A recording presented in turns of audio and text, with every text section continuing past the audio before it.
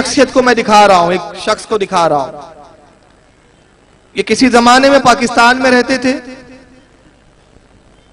सऊदिया की रियाल की लालच में सऊदिया में जाके विराजमान हो गए। सिक्कों की पीले पन्ने इनको अपनी तरफ़ रागिब किया है। और अयाश नजदियों के हराम की डॉलरों और रियाल के चक्कर में ये सऊदिया में विराजमान है। तकरीर उर्दू में करते हैं। भाई, एक मैं मिसाल दे रहा हूँ, मैं आपके एरिया में अभी किस किस जबान में तकरीर कर रहा हूँ? किस जबान में कर रहा हूँ? अगर मैं मलयालम शुरू कर दूँ तो आपके समझ में आएगा। अगर मैं मद्रासी में बोलना शुरू कर दूँ तो आपके समझ में आएगा। और मैं कहूँगा, भाई, आप बैठे ज़रूर है, लेकिन ये तकरीर मलयालम वालों के लिए, आपके लिए नहीं है। तो आप कहेंगे, साहब, आए का के लिए आप यहाँ पर? अरे, जब आप हमारे बीच आए तो हमारी जबान में तकरीर कीजिए। ये बैठे सऊदिया में, अरबी में तकरीर नहीं करते, वहाँ से उर्दू में तकरीर करते। किसके लिए? हिंदुस्तानियों के लिए। और हिंदुस्तानियों के लिए इसलिए तकरीर करते हैं कि यहाँ अगर वो तकरीर करेंगे इस तरह की तो इतने जूते पड़ेंगे कि सर का एक बाल भी नहीं बचेंगे। लिहाजा बेहतर यह है कि सऊदिया में जाके छुपो, चार बाय चार, दस बाय दस के कमरे में तकरीर करो, रिकॉर्ड करो, नेट पे डाल दो। कैसीटे आम करो, कैसीटे मुफ़्त में बांटो। कैसीटे फ्री भी बट्टी है, पैसों से भी बट्टी है। अकीदा इंतहाई गंदा। दावा क्या मेले हदीस, हम हदीस पर चलने वाले, हम हदीस के मानने वाले रुबे ज़मीन पर हमसे ज़्यादा हदीस समझने वाला कोई मौजूद ही नहीं ये दावे हैं। आइए जरा मौलाना तोसीफुर रहमान है मैं जिनकी बात कर रहा हूँ, सऊदी अरब में उन्होंने तकरीर की, जरा सुने क्या कह रहे हैं। अली पुकारो मुश्किल में तनी में, गम में, खुशी में, दुख में तुम्हारी हर तरह की मुसीबतें दूर करने वाले अली तो ना मुश्किल कुशा और बेवकूफ़ आदमी ये नहीं सोचते कि अगर अली मुश्किल कुशा होते, जब खैबर की जंग में अल्लाह के नबी ने बुलाया था कि अली को बुलाओ, मैं उसके हाथ में छंडा दूँगा। तो जवाब देने वाले ने क्या कहा था? या रसूलुल्लाह वसल्लम, उसकी तो आँखें खराब है कहा था या नहीं कहा था?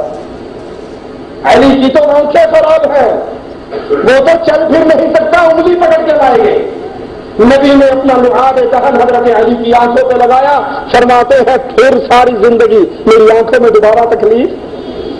जिसकी अपनी आँखें खराब हो, जो खुद शहीद कर दिया जाए, जिसके दो फर्जन हसन और हुसैन को शहीद कर दिया जाए, जो अपनी मुश्किलों को नहीं डाल सका तो तेरी मुश्किल कुशाई कर देगा? हाँ तुम तुम सादकीन सच्चे हो तो दलील तो दे दो। मौलवी तौसीफ रहमान साहब ने जो कहा, वीडियो थोड़ा सा आवाज़ जो है क्लियर नहीं है, मैं उनके जुमले दोहरा देता हूँ, ताकि आपके समझ में आए उन्होंने क्या कहा। उन्होंने कहा कि लोग अली को मुश्किल कुशा कहते हैं, मुश्किलों को दूर करने वाला, लेकिन अली मुश्किल कुशा नहीं है। दलील क्या है कि खैबर में उनकी आँखें खराब हो गई, आँख आ गई थी। आँसू में चश्म हो गया था। सरकार ने कहा कहा है अली? लोगों ने कहा, यार रसुल्ला उनकी आँखें खराब है। कहा, जिसकी अपनी आँखें खराब हो जाए, वो कैसे मुश्किल कुशा हो सकता है? जिस पर खुद मुसीबत आए, वो दूसरों की मुसीबत कैसे दूर कर सकता है? जिस पर मुसीबत आए, वो अब मुश्किल कुशा नहीं होता। मगर खुद ही भूल गए और उन्होंने सुन्नियों को एक ताना दिया कि बेवकूफ़ आदमी ये समझता नहीं है।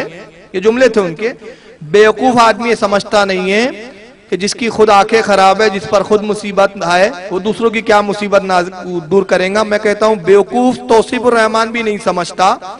उसने अली की तो मुश्किल कुशाई का इनकार किया, मगर आगे भूल गया कि मैं कह क्या रहा हूँ। रसूलुल्लाह ने बुलाया, अपना लवाब दैन अली की आँखों में लगाया, शिफा हो गई। यानी रसूल तो मुश्किल कुशा है अली नहीं है।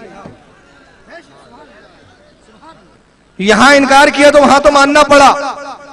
मैं कहता हूँ, कसम खुदा की, ये तुम्हारा बातिल अकीदा है कि अली अपनी मुश्किल दूर नहीं कर सकते थे।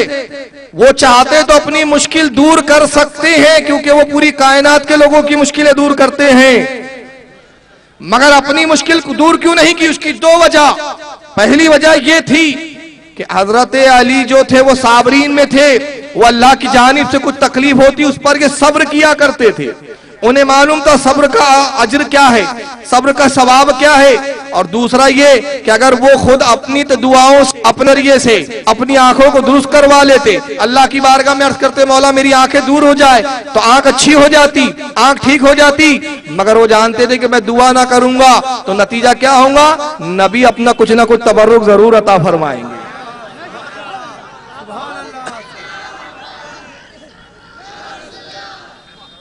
ये नबी के तबरुकात के हरीस होते थे।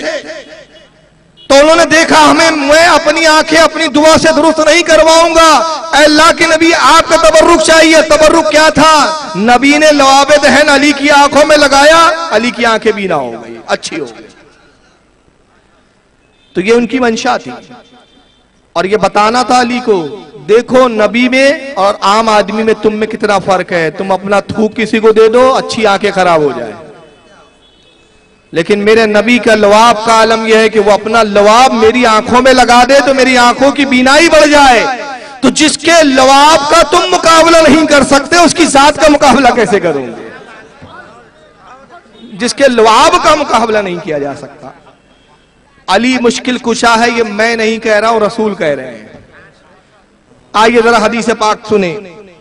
अन जैद इब्ने अरकमा रदी अल्लाह तआला जैद इबन अरकम रदी अल्लाह ताला रिवायत करते आनंद नबी सल्लल्लाहु वो कहते हैं कि अल्लाह के नबी करीम सल्लल्लाहु से मैंने रिवायत किया, काल।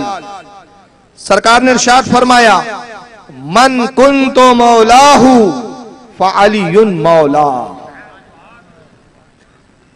अल्लाह के रसूल फरमाते लोगो जान लो, जिसका मैं मौला हूँ, अली भी उसका मौला है।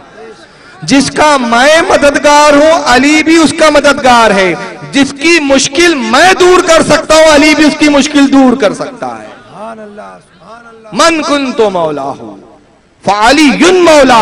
जिसका मैं मौला, अली उसका मौला। और कुरान में अल्लाह कहता है, मैं भी मौला हूँ। पढ़ते नहीं आप? अंत मौलाना फंसुरना लल कौमिल काफिरी अय परवरदिगार, तू ही हमारा मौला है। तू ही हमारा मौला। तो मौला अल्लाह भी, मौला रसूल भी, मौला अली भी। तो अब बात समझ में नहीं आई कि भाई तीन मौला कैसे हो सकते हैं? इनके यहाँ तो शिरक हो गया। हम कहते अल्लाह का मौला होना जाती है, इनका मौला होना अताई है। खुदा का मौला होना जाती। खुदा ने अपनी अता से रसूल को मौला बनाया। रसूल ने अपनी अता से अली को मौला बनाया। यह है मौला होने का मतलब। और ये वाहिद एक ऐसी हदीस है, इस हदीस की मैं खासियत बताऊँ आपको। इसको इमाम तिरमीजी ने लिखा, मैं चंद हवाले दे रहा हूँ, फिर उसके बाद इस हदीस की खासियत पे बात करूँगा।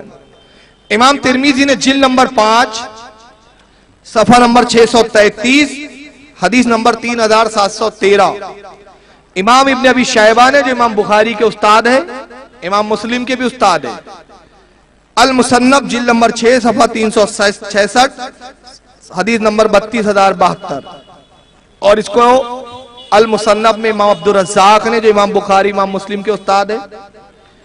अल मुस्तदरक में इमाम हाकिम ने, माजुमुल कबीर में इमाम तबरानी ने, खतीब बगदादी ने तारीख बगदाद में, अल्लामा इमाम हैसमी ने मजमा जवाइद में, इमाम इब्न आसिम ने असुन्ना में इमाम हुसामुद्दीन हिंदी ने कंजुल माल में और अलामा इबन कसीर ने अलविदाया व नहाया में भी नकल किया है। और भी लोगों ने लिखा।